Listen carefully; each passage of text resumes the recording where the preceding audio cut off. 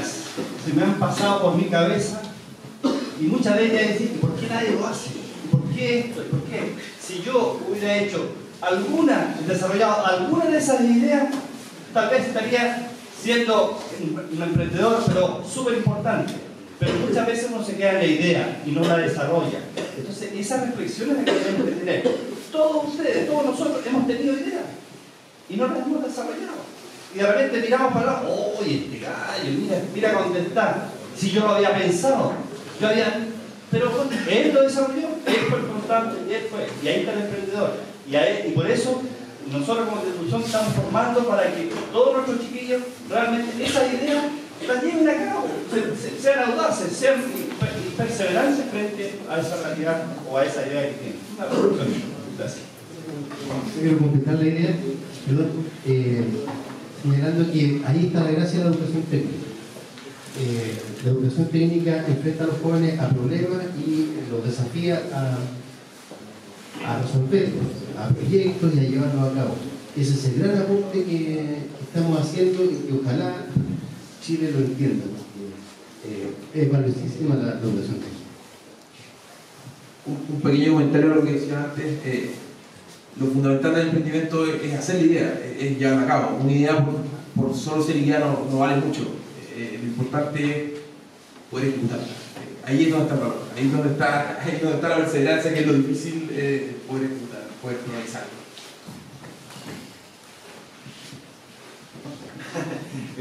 Estaba pensando que lo, que tú decías eh, es muy cierto y, uniéndolo con una pregunta que dice Nayon, nosotros hoy estamos o sea, nuestros jóvenes, ya no hablar de generación, pero nuestros jóvenes por lo menos están generando un nivel de ideas que son de clase mundial. A mí me ha tocado, nosotros estamos desarrollando ese tiempo, eh, concurso de emprendimiento, y nos toca llevar estudiantes a competir afuera. Y llevamos tres años terminando entre los tres primeros lugares. O sea, la idea generada aquí en Chile por, por alumnos tal cual los alumnos que están hoy día aquí en el auditorio, son de clase mundial y están compitiendo a nivel mundial y sacan buenos lugares porque son buenas ideas y, son, y están bien desarrolladas. pero no la idea, no, por supuesto. Nosotros lo, nosotros lo apoyamos en el prototipado, etcétera, etcétera, pero nace una buena idea. Claro, y todo el apoyo que nosotros le generamos termina finalmente en una buena competencia.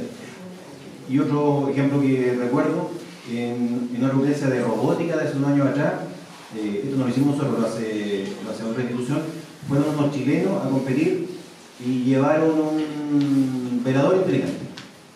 Un velador que se abría solo, se movía solo. Y ganó el equipo chino que llevaba un velador inteligente. La misma idea, la diferencia es que el velador chino volaba. El chileno tenía recursos chilenos, pero la idea era la misma. Entonces, el, gran triunfo del equipo chileno es que fueron a competir con la misma idea. Le faltaron recursos, pero la idea era la misma. O sea, a nivel de idea estamos muy bien. ¿Alguna otra pregunta?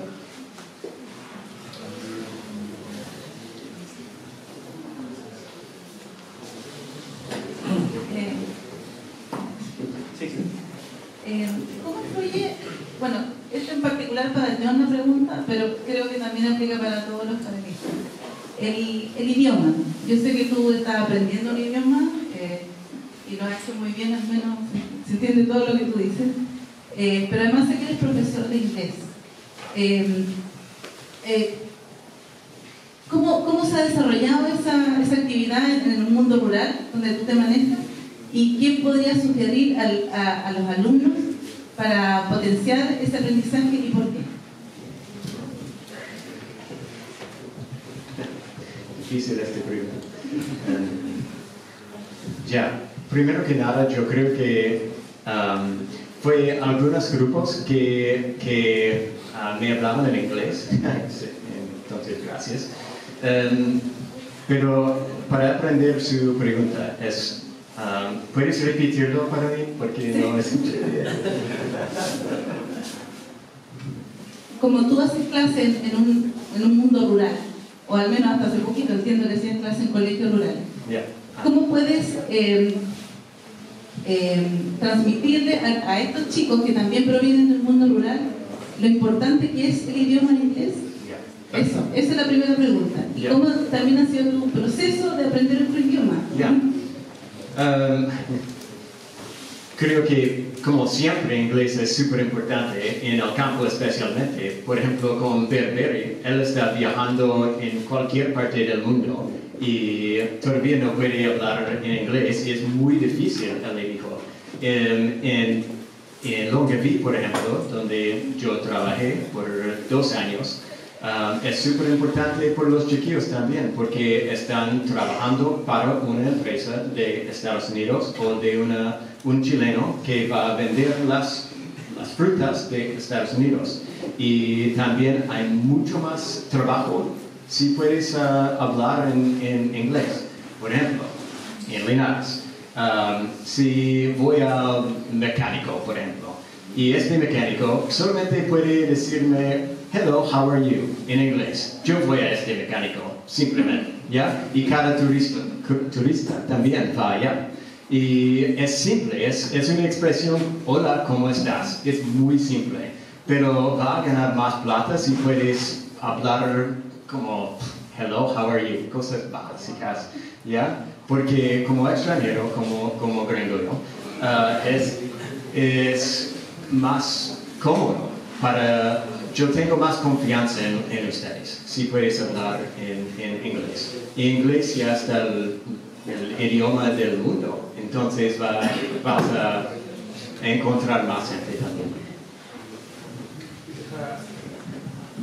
Agregando un, un temita lo que dice John, eh, no solamente eh, la relación entre, las personas, claramente es muy importante poder hablar inglés y poder relacionarse con una persona que solo habla inglés, pero también el mismo mecánico que, te, te, te, atiende a ti, eh, lo más probable es que un manual de un auto va a ser más fácil que lo encuentre en inglés que lo, que lo encuentre en español.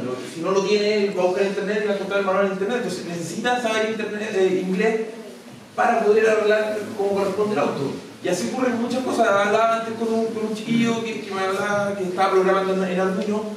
La gran porcentaje de la documentación eh, eh, del mundo digital está en inglés. O sea, es fundamental saber inglés y, es algo que, que clave. O sea, si, queremos estar en la revolución digital, tenemos que saber inglés, porque el mundo lamentablemente no, habla español, habla inglés. O sea, si quieren eh, salir de, la región, salir del país, es, es, clave, es clave, es clave. Y hoy día con internet, o sea, todos saben inglés.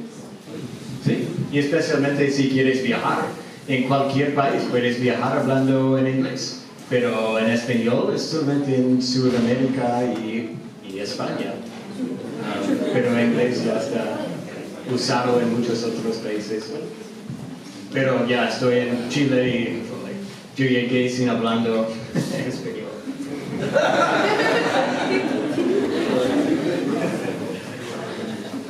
¿Alguna otra pregunta?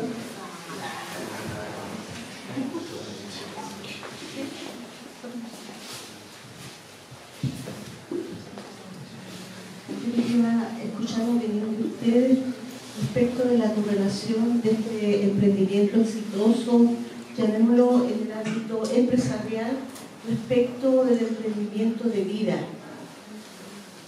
Eh, ¿Cómo ven ustedes? ¿Se está haciendo más exitoso en este tipo de emprendimiento? ¿Está pasando algo de esto en los proyectos de vida? Eh, ¿Cómo está el tema en nuestro país? Eh, corresponde que se pueden unir las respuestas. Sí, porque primero que nada uno tiene que aclararse qué es lo que quiere, partiendo por eso. O sea, yo quiero vivir en algo, en un lugar que me haga sentir bien. Para tener vida uno tiene que sentirse cómodo, pleno, primero que nada. Entonces, si uno puede combinar, yo tuve la maravillosa suerte de encontrar algo que combinar con mi vida y mi trabajo, pero yo lo construí a mi manera. O sea, en el sentido yo eh, quise que en Caliboro se respetaran las tradiciones campesinas y yo estoy luchando para que siga manteniéndose eso. A pesar de, digo a pesar, porque igual el modernismo lo lleva respetando un poco toda la opinión y puede que ser mate, todo esto, no sé lo que quieran, pero mi modo de vida un poco pasa a ser medio eh, personal, porque yo busqué una instancia, un momento, un ambiente, de que yo necesito vida para vivir. Hoy día la gente respira para sobrevivir, pero no para vivir, primero que nada. respiran para sobrevivir, porque el modo como vivimos, pero ¿quién respira para vivir? Pocos. Entonces un poco la idea se basó en eso. Puede que suene medio poético. Yo hago el tratamiento en mis viñedos a base de flores de camomila, de ortiga, es romántico, ¿ah? pero a mí me funciona. Es el concepto de la biodinámica. Entonces empiezo yo a investigar y empiezo a enfocar no solamente en la parte agrícola, desempeñarme en mi parte técnica, sino que en mi modo de vida. Entonces empieza a combinar todo esto y al final encuentro un equilibrio para mí como persona y los que me rodean, en este caso mi familia. Entonces yo empiezo a vivir hoy día momentos plenos, o sea, en el sentido de disfrutar más los sabores, disfrutar más... Yo hago vino, es el, el, el fuerte mío, hacer vino. Y el vino es una cosa histórica porque cuando salí aquí al Liceo Agrícola trabajaba en un huerto con pera y manzana, pero sabía que existía más allá de eso, había cosas más entretenidas. Y el vino es algo que hasta el día de hoy es fascinante y la gente todavía sigue descubriendo, sigue interactuando. Entonces tenía que llenarme algo de vida también dentro de lo que tenía que hacer. Y fui construyendo todo esto y al final del día empiezo a explorar un mundo mío donde empiezo a encontrar sabores, colores, maridajes, saber que un vino tiene una intensidad y lo puedo maridar con un distinto forma de comida. Entonces me autocuido yo mismo personalmente y soy feliz de esa manera. No hago un concepto competitivo ni, a ver, todos tenemos objetivos y metas en la vida, estamos de acuerdo. Pero también mi energía sé que va a llegar en algún momento, sé que todos tenemos, como bien dijo usted, hay una posibilidad. Pero hay que estar atento en el momento cuando llegue y tomarla inmediatamente eso, y eso es para todos los jóvenes que están aquí. Hay un momento, dos, tres en la vida o cuatro, que están a su disposición. Y hay que estar muy atento de poder tomarla. Y si uno la agarra, empoderarse de ella y no soltarla más. Es lo que hice yo. Y después empecé a combinarlo con mi estilo de vida, mi forma de vida. De qué manera yo me siento pleno, vivo, saludable. Me cuido yo como persona. Yo soy único, mi unidad central, que soy yo como persona y los que están a mi alrededor. Entonces empiezo a cuidar. Mi, encontré mi señora que la conocí cuando tenía 6 años para ser vendiendo vino por Caliboro y quería empezar la vuelta de la vida. Regresé 10 años después sin saber y encontrarme, dije, aquí hay una niña de ojos verdes, dije, cuando andaba vendiendo vino. Volví 10 años después, regresando de Italia, llego a Caliboro. Dije, debe estar, pero ya no tiene, tenía 6 años, ya no tiene 6 años. Y fui a buscarla. 10 años después regreso y hoy día es mi señora.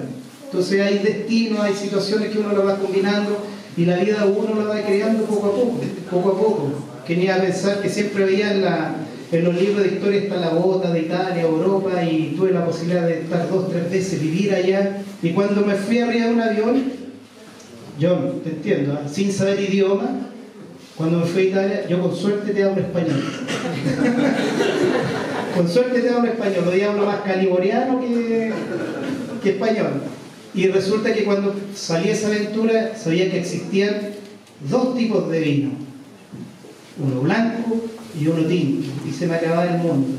Hoy ya sé que hay mucho más y todavía me queda mucho más por aprender. ¿Se fijan? Entonces siempre está esta ansia, este, esta hambre por descubrir, conocer, y lo más importante es protegerme yo, cuidarme yo, creer en mí, mis capacidades. Y eso al punto que hoy día Llevo 21 años trabajando con un conde italiano, Francesco Marone Cinzano, que tiene más de 500 años de historia haciendo vino del Vermouth Cinzano, su padre, ahora siendo un brunero de Montalcino. Llevo 21 años trabajando con un italiano, independiente de mi proyecto de emprendimiento personal de enoturismo, 21 años. Y en estos 21 años hemos sufrido, lo hemos pasado mal, bien, todo, hemos crecido en cierto modo ambos, hemos entendido, pero yo he logrado que al final del día también, que no buscan un empresario, no, el patrón, como decimos en el campo, también en cierto modo esta iniciativa, este despertar de uno que lo haga sentir bien a él. Muchas veces estamos para emociones, emociones, se vino del otro lado del mundo, al fin del mundo a vino por una emoción. Entonces yo no puedo apagarle la luz tampoco, tengo que seguir que esa luz brille, el empresario eso quiere, que además de cuidar el patrimonio siempre haya un concepto de, iniciativa, que haya gente que, oye, vamos a, ir, vamos a ir los dos con los zapatos puestos, en cierto modo. ¿ah? Vamos a tomar esto y vamos a salir adelante con este trato, perdido, ganado, como decimos en el campo, pero vamos a salir. Entonces, tuve la fortuna de combinar mi modo de vida con lo que soy hoy día, como vivo, y si mañana el hombre no quiere trabajar conmigo, este italiano que llevo 21 años, no importa. Yo sigo con mi vida y hay una estabilidad eh, emocional, hay una estabilidad en un proyecto personal también, hay una estabilidad de la confianza que yo tengo como persona, como persona, eso es muy importante. Y lo más importante es la valentía también, que eso es, hay que ser valiente en este mundo y atreverse, no quedarnos entre medio del, sistema ahí escondido.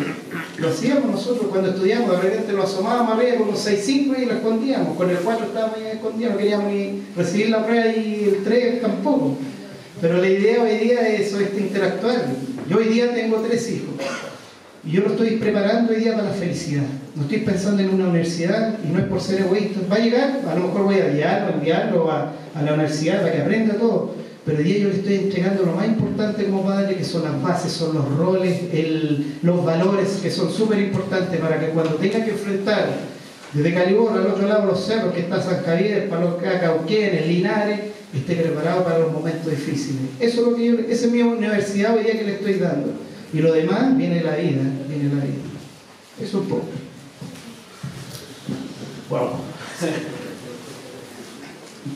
No sé si, no sé si soy yo el que debo hacer